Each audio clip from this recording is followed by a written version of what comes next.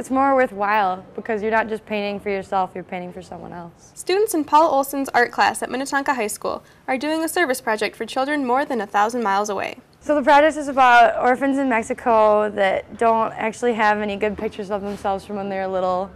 And we just got to paint them and we get to send them to them so they can just have it to carry around with them or do whatever they want. Well, I like the painting of him, like I like painting Diego. I just hope that he likes it knows that I tried. Students were given photographs of orphan children in Mexico and a blank canvas to put their artistic talents to work. On his shirt was like a speedway sign, and so I just thought, you know, I'd take like checkers, kind of like a raceway design. So I thought I'd put that in the background, make it look really cool.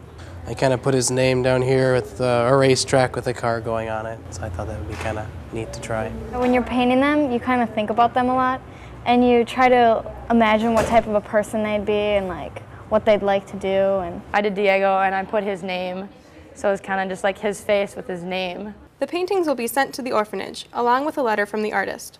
It was good to be able to write him. Hopefully he'll be able to write back and see that we're interested in what's going on over there and they're not just like alone by themselves even though they're orphans. They probably don't get that many presents a whole lot, so it'd be mean a lot to them, you know, getting something from a person in another country, knowing that they took the time to do their portrait for them. With request paintings or paintings for other people, I tend to do uh, put more work into them rather than ones for myself.